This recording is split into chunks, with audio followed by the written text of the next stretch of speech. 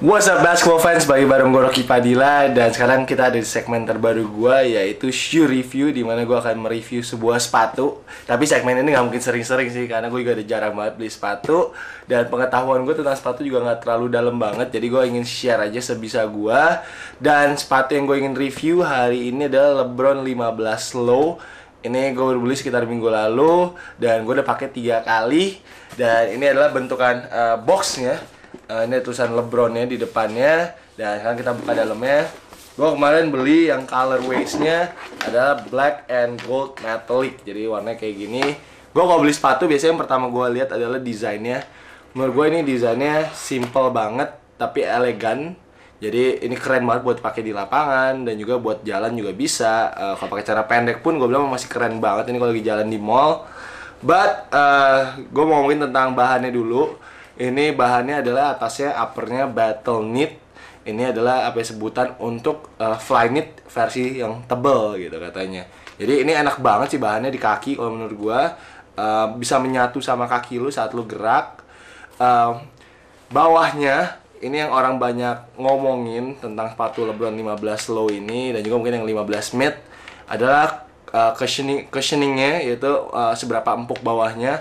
Ini orang yang banyak bilang bawahnya itu kayak nggak berasa sama lantai kaki lo karena ini bawahnya tebel banget Air Max ini yang di belakang yang di heel tapnya itu uh, tebel banget dan depannya itu zoom uh, zoom air teknologinya jadi ini gabungan antara Zoom Air dan juga Air Max. Ini menurut gue sih enak banget. Gue nggak tahu kenapa orang bilang dia emang ini agak bikin lo merasa lebih tinggi sih karena ini tebel banget kan. Tapi orang bilang ini gak enak banget karena kaki lo nggak berasa di lapangan. Malah kok gue bilang ini enak banget karena empuk banget. Jadi kalau lo lompat uh, impactnya nggak terlalu apa ya, keras untuk kaki lo. Jadi uh, semuanya diserap sama uh, Air Max yang di belakang ini kalau menurut gue. Tapi orang baik bilang nggak suka kalau gue sih suka banget dengan uh, apa ya yang sepatu sangat empuk ini dan ini lucu uh, karena depannya juga nggak menyentuh lantai. Jadi ini depannya itu kayak agak naik ke depan. Uh, gue bilang sih ini sangat membantu lo banget saat lo ngedrive atau juga mau ganti arah. Jadi kakinya tuh lebih kayak apa ya lebih stabil sih kalau menurut gue sih. Tapi ya ini kan pendapat gue kan. Dan tractionnya gue bilang bagus banget. Uh, apalagi kalau main di lapangan yang nggak licin sih ini enak banget sih gue bilang untuk ganti arah dan juga ganti speed. Bentuknya kayak diamond diamond gitu jeleknya ini adalah uh, ada rongga-rongganya gitu. Jadi kayak dia kalau lapangannya berdebu debunya nempel semua. Jadi harus sering-sering dibersihin. Dan uh, kekurangan sepatu ini sih satu aja sih kalau menurut gue uh, ini ankle protectionnya kurang bagus gue bilang.